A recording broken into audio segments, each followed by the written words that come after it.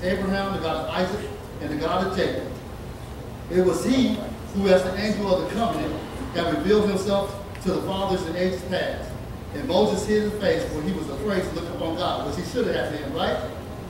Humility and reverence should characterize the deportment of all who come into the presence of God. What is that? Humility and reverence. When we come into the presence of God, we should all come with humility and reverence, right? Amen. Not just coming in any kind type of way that we want to. In the name of Jesus, we may come before him with confidence, but we must not approach him with the boldness of presumption as though he were on a level with ourselves. God ain't on the same level with us. So when we approach him, you need to approach him with reverence. He's God. He's our creator. So we got to approach God with reverence. Amen? There are those who address the great and all-powerful holy God who dwelleth in light unapproachable as they would address an equal or even an inferior. There are those who conduct themselves in his house as they would not presume to do in the audience chamber of an earthly ruler. There are those who, you know, come to the church of God, we just come in any type of way and do anything we want to do and talk and do it that way. But you go to the courthouse, you're not doing that, right? They got some rules and regulations Man. up there. You're not wearing no shorts. Exactly. You're not uh, coming there with your cell phone on. You're not coming there talking. You're not doing anything. You're gonna come to you gonna come to that court with some reverence, right? If not, that judge is gonna say uh, you need to be excused, or the judge gonna say lock him up. Amen. So when we come to the house of, of the Lord, we need to come to the same way we come to the Man. courthouse, right? Which should be even more, because we coming to the real judge. Yeah. Right? We coming to a judge who's going to give you life or death. So when we come to the house of God, let's come to the house of God with reverence, right? Amen? These should remember that they are in his sight with seraphim adored, before whom angels veil their faces. So we're in the sight of angels. You know when the angels go to God, you know what they do? They kneel before the Lord, right? That's why when I have prayer, I like to kneel before God, amen? That the angels do it. It said we made a little lower than the angels. So we think we can't do it. We made a little lower than angels, but it says the angels do it all day long. Why? Because they're thankful. But we we so unthankful, you know, for all types of things. Well, that ain't my message today, though. Uh, but we should just be reverence unto the Lord, amen? It says, uh, God is greatly to be reverenced. All who truly really realize his presence will bow and look before him. And like Jacob beholding the vision of God, they will cry out, How dreadful is this place? This is none other but the house of God, and this is the gate of heaven. Amen? God spoke to Moses from an unexpected source, a burning bush. When Moses saw it, when Moses saw it, he went to investigate. God may use us, God may use unexpected sources when, commu- when communicate to us too. Whether it be people, thoughts, or experiences, be willing to investigate and be open to God's surprises. Amen? You think Moses, when he saw that burning bush, that you saw a burning bush, most of us just run away, right? What- And don't run around and that bush just burning and then, no, we wouldn't run away from the burning bush, but somebody called your name of that burning bush, we would be like, uh, time to go, right? but God calls us from all types of things, so we got to be willing to investigate, as Moses did, like he did that burning bush. Amen? And so, and going back to the uh, patriarchs and prophets, it says, amazed and terrified at the command, Moses drew back, saying, Who am I that I should stand and go into Pharaoh, and that I should bring forth the children of Israel out of Egypt? The reply was, Certainly I will be with thee, and this shall be a token unto thee that I have sent thee. When thou hast brought from forth the people out of Egypt, you shall serve God upon this mountain. Moses thought of the difficulties to be encountered, of the blindness, ignorance, and unbelief people, many of whom were almost destitute of knowledge of God. Behold, he said, When I come into the children of Israel, and shall say unto them, The God of your fathers has sent me unto you, they shall say to me, What is his name? What shall I say unto them? The answer was, I am that I am. Amen. Moses made excuses because he felt inadequate for the job when God asked him to go, right? God asked him to do it, but it was natural for him to feel that, that way because he was inadequate to go all by himself. But God wasn't asking Moses to work alone. He offered other resources to help, which God was, which, which was God himself, his brother and Aaron, and the ability to, uh, to do miracles, which we can find in chapter 4, as we're going to go to chapter 4 uh, and start off in chapter 4. So when God asked Moses to go and, and do this for him, Moses was like, I can't, who am I? And, and, and then Moses came up with all kinds, of excuses. So God said, well, you know what? And so uh, Moses wants some miracles. So God said, let me show you some miracles and show you that I am with you. Since you need uh, some miracles to, to show that I'm with you and the other people can see, you know, like when God asks to do, do stuff, you know, we everyone always think they need the miracles to know that there's a God. Amen? Why we need miracles? He wakes you up every morning, right? Is that miracle enough? Or do you wake your own self up?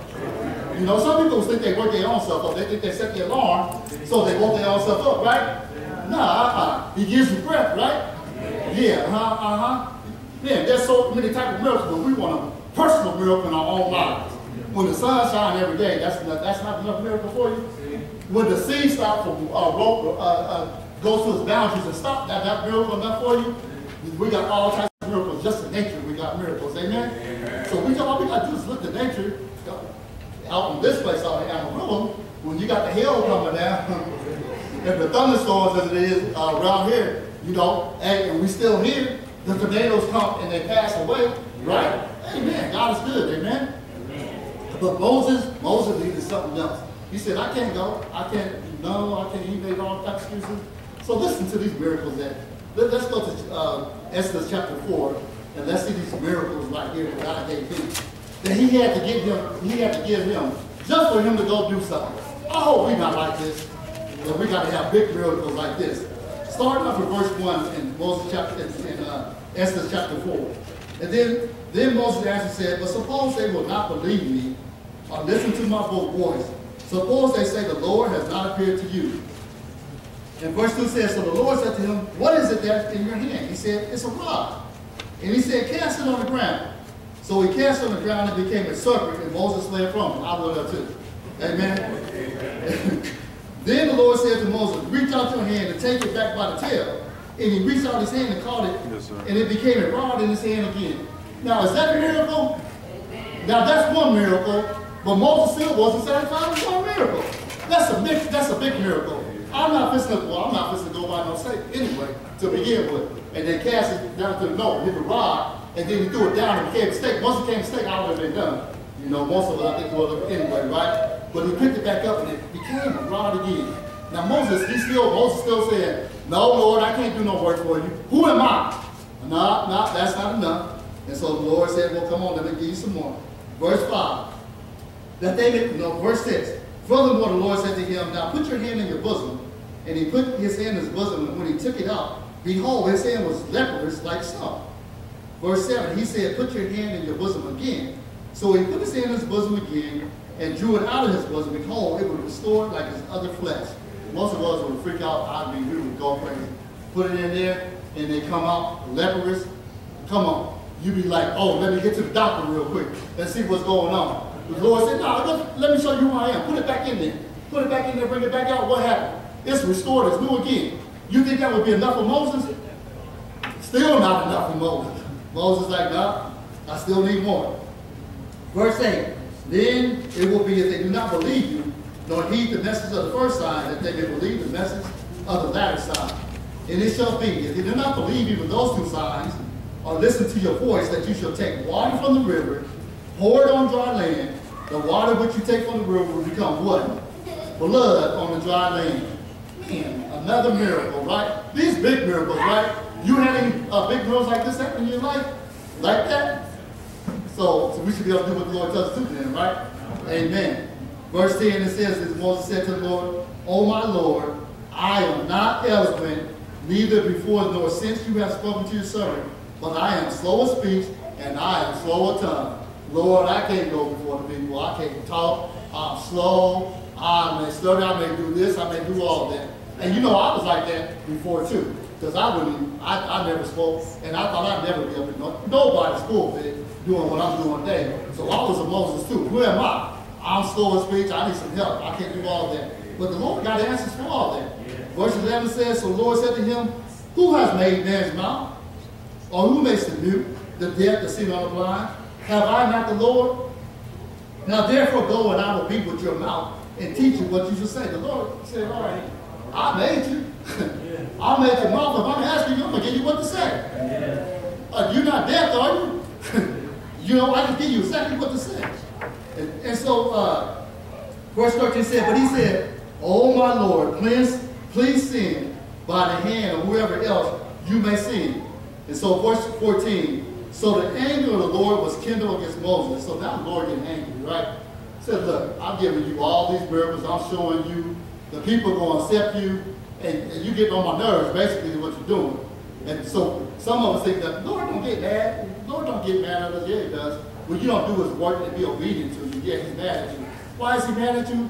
Because you're not going to be saved. He's trying to save everyone. So, yes, he, he, he does get mad. And so he's getting mad at Moses because Moses is making too many excuses, like we do. Amen? It says, so the anger of the Lord was kindled against Moses. He said, is not Aaron the Levite your brother? I know that he can speak well. And look, he is also coming out to meet you. When he sees you, he will be glad in his heart.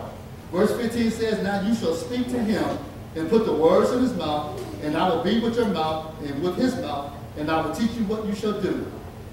So he shall be your spokesman to the people, and he himself shall be as a mouth for you, and you shall be to him as God. And you shall take this rod in your hand, which, with which you shall do the signs. So the Lord gave him plenty of help, right? He gave his brother to him, Aaron. That rod still was going to do miracles, right? Was going to open up the Red Sea, correct? So the Lord blessed him and gave him all the miracles and said, hey, you got to believe me. You know, I, am not just talking to you, just believe what I am uh, telling you. Amen?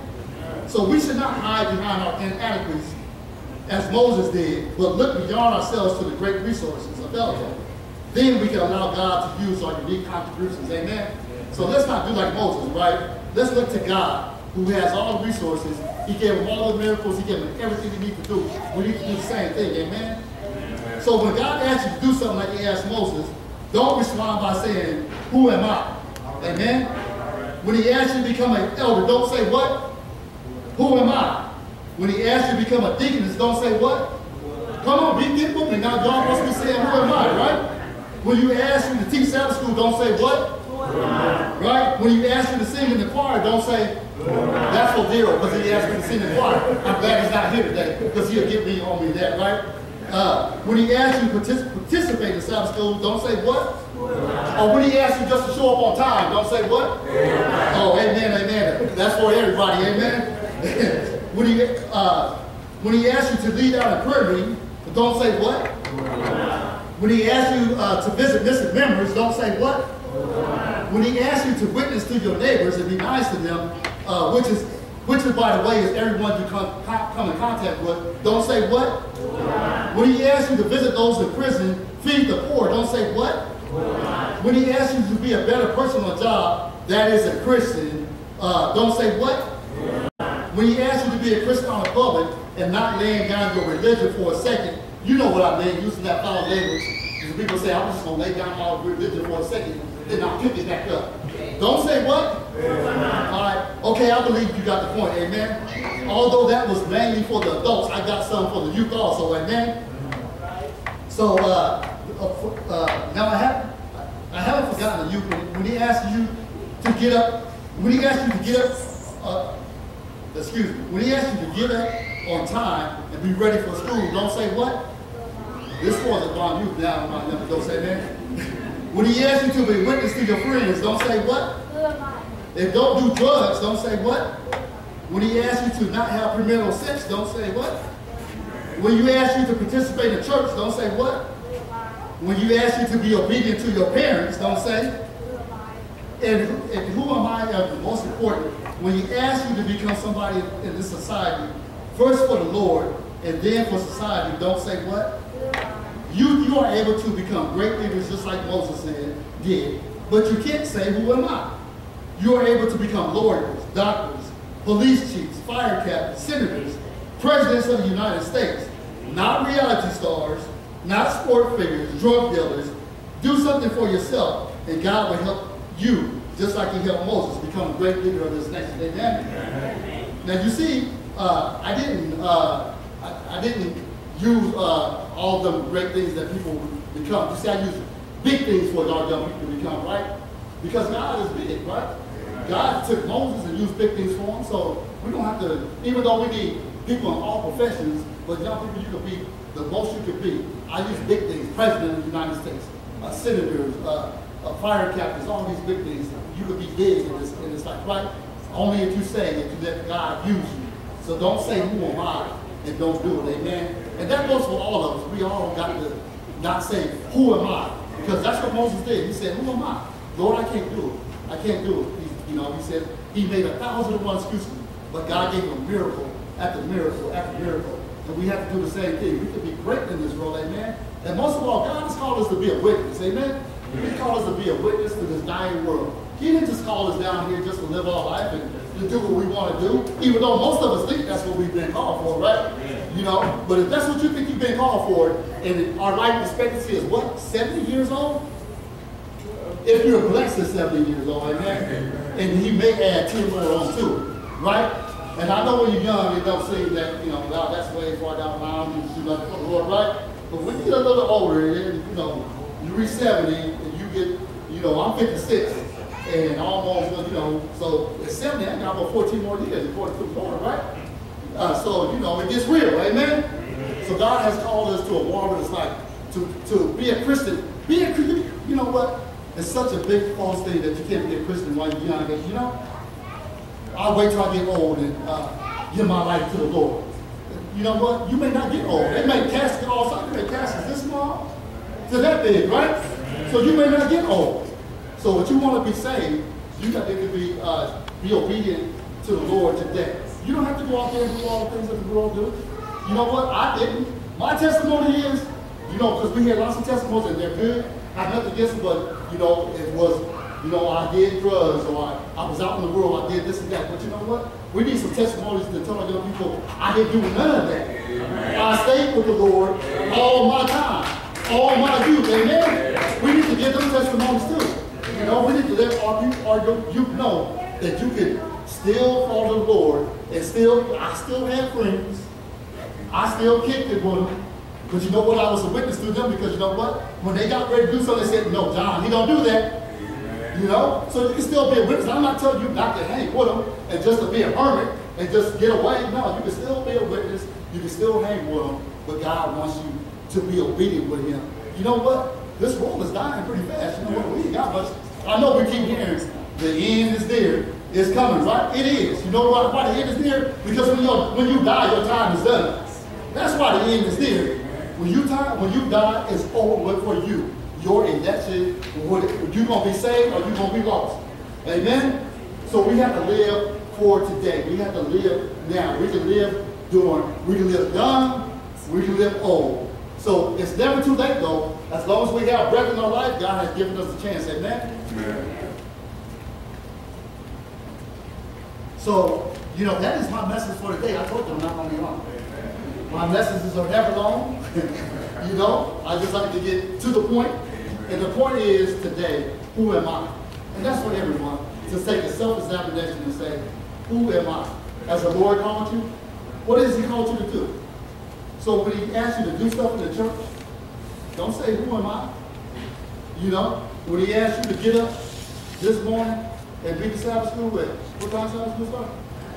9.15? 9.30, I don't know a lot of people don't want to hear this, but you know, I'll have to give it anyway. Don't say, lay in that bed and say, who am I? I know you get up and go to work uh, way earlier than the week, right? I know when I work, I'm retired now, but I know when I work, I was up at 3.30 every morning, you know? I can make it to church, and I can't make it to church at 9.15. Come on. You're not coming to see me, though. You're coming to see the Lord. So you should, you know, it says the the later you come to church, the more the angels give out blessings. So the later you come, you don't receive those blessings. Mm. Don't you want all the blessings? Amen. Amen. So you know we should try to be on time for church. We should try to make every meeting, right? Tuesday night, Wednesday night, why? Because we learn more about God, right? We become closer to God, right? And these are things that we want to do. These are things that we need to do and have to do in order to it into the kingdom of God. If you don't do them down here, you ain't gonna be happy in heaven. If you just do your own thing down here, and you just come to church because you have to come to church or whatever, like you just think that I'm just gonna keep the Sabbath by just come to church, well, you ain't making it to heaven anyway. Because you know why? You wouldn't be happy in heaven. Because this is what we're gonna be doing in heaven. God said we're gonna meet every Sabbath. We'll get to, you know, it says when we get to heaven, from one new moon to another, yeah. we're gonna get it together. But guess we're gonna be getting that sermon Sabbath. God Himself. Amen. Amen then you should not want to miss out on heaven. If you like this world, then live it right now and more power to you. Don't even come back to church no more. Go out there and live your life. Live it to the fullest. I'm telling you, live it to the fullest. You should, because this is going to be your heaven on earth. Right. Don't need a half step. You don't want a half step and still miss out. Amen. Enjoy your life fully right now. I wouldn't want a half step if, you know, and then miss out on heaven. Heaven is glory. It says it's going to have streets of gold. Anybody ever walk on streets of gold? Huh? Pearly gates, right? Anybody, anybody, who lives in a mansion right now? Who ever been to a mansion? You know, you don't have a mansion. Oh, we can't even, man, we can't even, uh, we just can't even imagine none of them things because of this dull life, the sin that has been put up on this earth, right? So we just can't even imagine, but we need to imagine these things so we, so that you will want to go to heaven, amen? So at this time, you know, I just, my, my appeal is just for everyone to look at themselves and say, who am I when it comes to the Lord? Amen? If we can just say, who am I, and look to the Lord, we'll be all right, right? The The Lord forgives, right? If we sin, ask for forgiveness. That's what it's there for. You know, and then change your ways. Turn around. That's what he asks us to do. Change your ways, turn around and seek him. Amen? At this time, we'll, uh, I just want to praise uh, at this time. Dear Heavenly Father, once again, we thank you for your precious Holy Sabbath day. Dear Lord. I thank you just for using me as I'm not worthy. Dear Heavenly Father, we need to get up. But dear Lord, we just thank you for all that you've done for us. And Lord, may we just say, not say, who am I? But may we say, yes, Lord, to your will. Continue to bless us and keep us throughout your Holy Sabbath. And most of all, dear Lord, I ask that you save each and every person in the sound of my voice. In Jesus' name, I pray. Amen. Amen.